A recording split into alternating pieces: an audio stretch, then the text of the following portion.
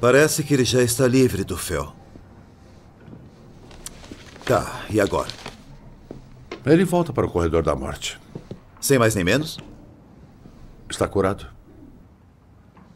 O tumor causou picos de adrenalina, o que com certeza levou aos ataques explosivos que o tornaram um assassino.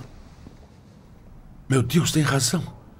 Vamos avisar o cirurgião para guardar o tumor que vai para o banco de testemunhas. A gente pode ser testemunha na apelação. Sentiu o cheiro?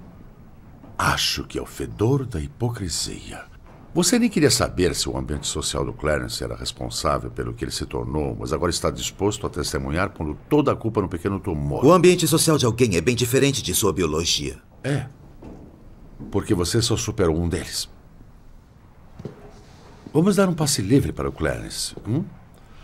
O que vai enfurecer todos os outros que sofrem de fel e que conseguiram controlar seus ataques de raiva, se tornar advogados, pilotos de corrida ou mesmo médicos. A remoção do tumor encerra os picos de adrenalina. Não o absolvem. Você quer que ele seja executado? Não é o que estou dizendo.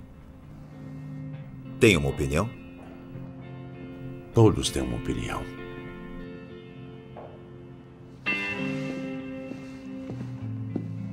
Eu acho. Eu acho que vou testemunhar na apelação dele. Faça o que achar certo. Quando chegar a hora. David played and it pleased the Lord, but you don't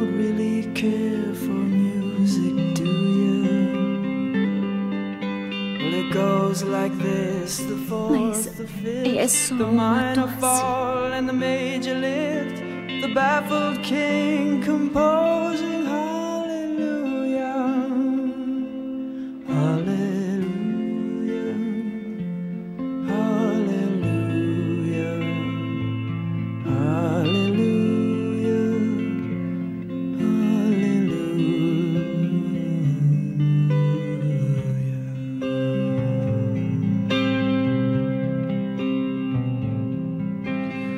faith was strong, but you needed proof.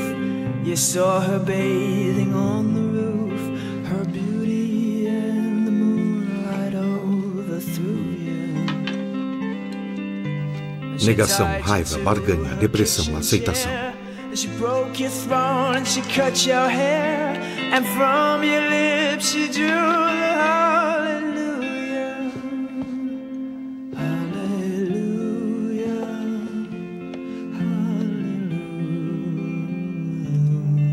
Aceitação.